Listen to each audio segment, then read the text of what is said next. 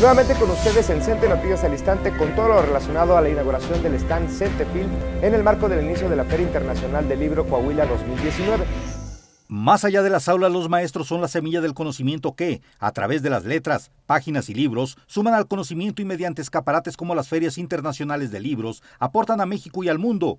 Bajo esta premisa, el secretario general del CENTE, maestro Alfonso Cepeda Salas, acompañado de la secretaria de Gobernación, Olga Sánchez Cordero, del gobernador Miguel Ángel Riquelme, del alto comisionado de las Naciones Unidas para los Refugiados en México, Giovanni Lepri, y el embajador de Japón, Yasushi Takashi, cortó el listón inaugural del stand Centefil, el líder magisterial dijo que el sindicato busca hacer visible el trabajo docente mediante las ferias internacionales de libros, Universitario de Veracruz, la Politécnica del IPN, en esta la de Coahuila y en la segunda más importante del mundo, la de Guadalajara.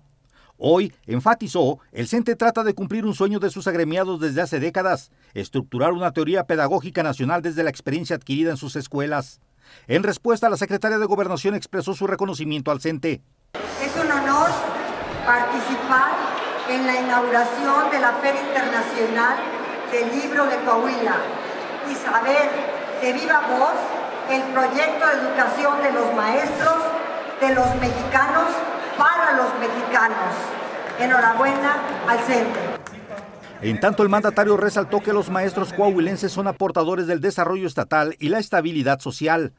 Previamente se puso en marcha la FIL Coahuila 2019, en la que participan más de 500 casas editoras, entre las que destaca el sello del Fondo Editorial del Magisterio del CENTE, con la presentación de 24 libros, la impartición de 14 talleres académicos y 37 para niños, así como experiencias docentes exitosas y una conferencia magistral. Gerardo Ortiz Domínguez, CENTE Noticias.